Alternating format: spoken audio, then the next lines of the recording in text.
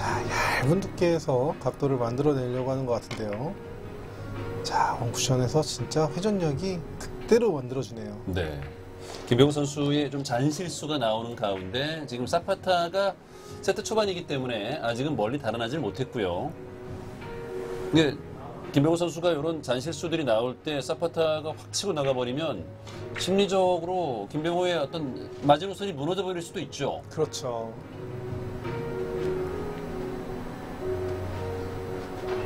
2023-24 시즌 아, PBA 투어 2019-20 시즌부터 해서 이제 4개 시즌을 지났고 이번 시즌이 다섯 번째 시즌. 자, 뱅크샷이에요. 와 이거 네. 자, 이거. 오 자, 이것도 이거. 야. 어 이런 수도 있군요. 네 이거는 뭐 의도한 수는 아니었는데 네. 이렇게 맞기도 하는군요.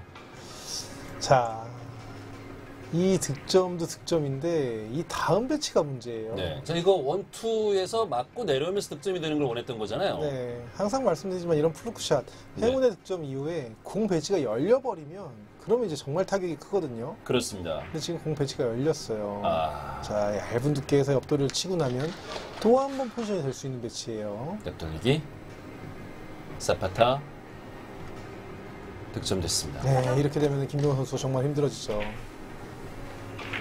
어, 지금 일목적구 이목적구 위치 그 거리가 굉장히 짧긴 한데 이거 뭐 괜찮나요? 네, 지금 뒤돌려치기가 충분히 가능하죠. 다만 이제 키스를 내가 먼저 진행할 건지 네. 아니면 저 사이로 뺄 건지인데 내가 먼저 진행하면서 좀 탄력을 줘도 되고요.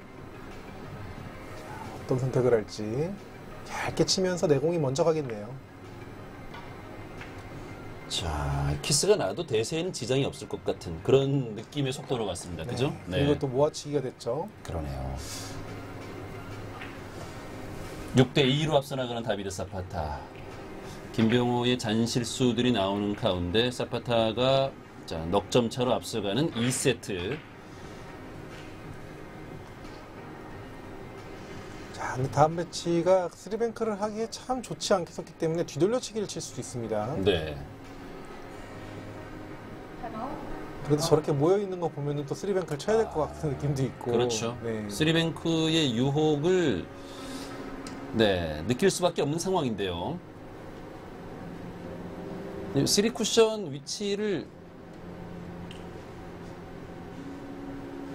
어, 쓰리 쿠션으로 가나요? 계속 고민하는 것 같은데요. 자, 저기서 bank shot을 저렇게 하는구나. 아, 들어오는 각도로 봤을 때 이게 제일 좋은 각도긴 하거든요. 지금 제일- five 쿠션 보는 건가요? 아니요, 아니요. 쓰리 쿠션으로 보는 건데 네. 이제 와. 아, 아. 고민을 참 많이 했는데 득점은 너무 시원하게 쉽게 됐는데요. 기가 막혔습니다. 그렇습니다. 네. 조금 깊게 재놓고 오히려 네. 반발을 이용했어요. 아 정말 아, 멋집니다. 이렇게 이렇게 입사가 될 수 있다면 아,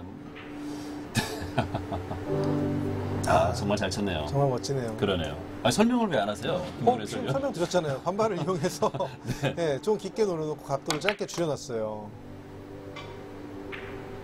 아 이거는 자. 멋졌네요. 또 너무 멋진 공을 치고 나면 꼭 다음 배치가 좀 실패하는 경우가 많더라고요. 그렇군요. 네.